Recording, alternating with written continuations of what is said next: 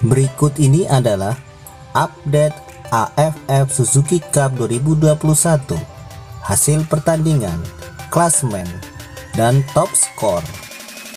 Sebelum lanjut, like, komen, dan subscribe atas spot untuk mendapatkan info-info olahraga.